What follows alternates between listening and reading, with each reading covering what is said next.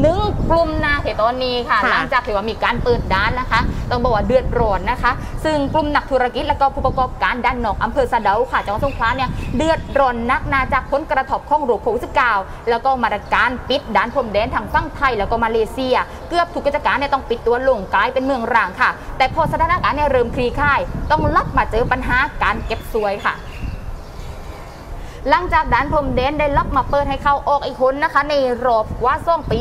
แซงซีของอำเภอซาเดาเนี่ยก็เริ่มล็อกมาค่ะ เจ้าของธุรกิจต่างๆ ไม่ว่าจะเป็นโรงแรมร้านคาราโอเกะนวดแผนโบราณเขาก็ต่างควักเบียร์แต่มีนี่แหละแทบจะไม่เลือเลยนะ เอาล็อกมาตกแต่งร้านหนาเผื่อโรคค่อยนักท่องเที่ยวให้มาใช้บริการทางทางเทไม่มั่นใจว่าเมืองนี้อีล็อกมาคึกคักเหมือนเดิมหมักหน่อยแค่ไหน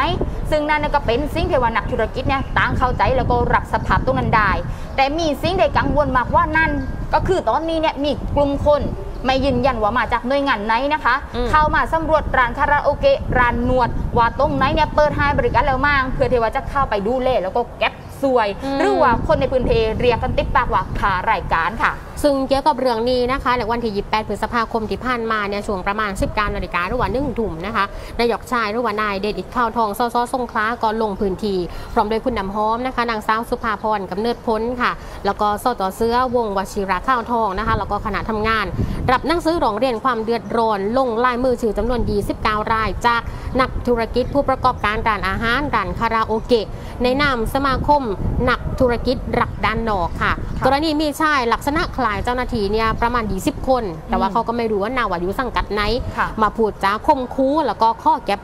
รายการทุกร้านยังไม่เกรงกลัวกฎหมายนะคะ โดยนายกชายได้ให้คำมั่นกับผู้ประกอบการค่ะว่าจะสร้างการให้ขณะทำงานเนี่ยเร่งติดตามประสานทำหนังสือส่งถึงผู้บัญชาการตำรวจภูธรภาคเก้าผู้บังคับการตำรวจภูธรจังหวัดสงขลาแล้วก็ผู้ว่าราชการจังหวัดสงขลาเพื่อจะแก้ไขปัญหาเรื่องนี้โดยด่วนเพราะว่าตอนเนี้ยคนด้านนอกเนี่ยต้องยอมรับว่าเศรษฐกิจมันก็แย่อยู่แล้วใช่ช่วงสองปีที่ผ่านมาร้านค้าผู้ประกอบการ คือเขาก็พยุงตัวเองไม่ไหวใช่นะค่ะเพราะฉะนั้นจำเป็นอยังยิ่งที่จะต้องช่วยกันนะคะในช่วงนี้ใช่ค่ะโดยเขาจะเร่งทำหนังสือถึงผู้ว่าราชการจังหวัดนะคะ ให้เข้มงวดฝ่ายปกครองค่ะ เพื่อให้ประชาชนเนี่ยสามารถทำมาหากิน แล้วก็เศรษฐกิจเนี่ยสามารถเดินต่อไปได้นะคะ แล้วก็ยืนยันค่ะว่าจะช่วยเหลืออยังเต็มที่เมืองนี้เนี่ยจะต้องรับมาเจะเรื่นอยังแน่นอนอืมสำหรับด้านนอกนะคะ ในอดีตเนี่ยก็เป็นแหล่งรายได้ของจังหวัดนะ ขณะเดียวกันค่ะก็มีบางกลุ่มในยช่วยโอกาสรับผลประโยชน์จากผู้ประกอบการ ซึ่งไม่มีใครเนี่ยห้าเล่งไรเลยพี่โอถูกอืมแต่ว่าสำหรับคนนี้ค่ะ ทุกคนเนี่ยก็ต้องออกมาแล้งเป็นเสียงเดียวกันนะว่า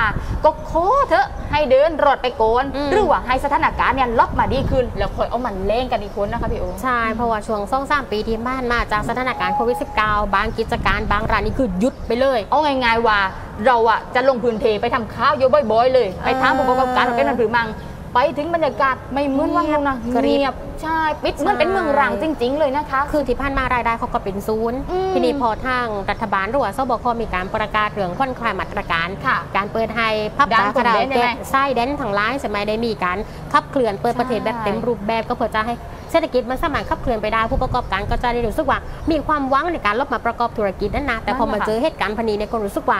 ฉันยังไม่ทันฟื้นตัวเลยเออเธอเป็นใครมาทำพนีกับเราได้ผือในพนีนะยิงต่อวันที่หนึงมิถุนายนนี้ก็คือตอนเช้าใช่ค่ะ ก็จะประกาศแบบให้พับบาร์คาราโอเกะเนี่ยสามารถเปิดได้เปิบดได้ริการอย่างเป็นทางการแล้วด้วยตอนนี้หลายๆคนก็อาจจะ ดับร้านเตรียมความพร้อมเพื่อจะรองรับพี่น้องประชาชนและก็นักท่องเที่ยว ที่มาใช้มาอ่าที่มาใช้บริการทำการมาตรการที่เขายังคงมีไว้นะเพื่อจะให้ปลอดภัยก็ต้องช่วยเหลือกันไปก่อนนะคะ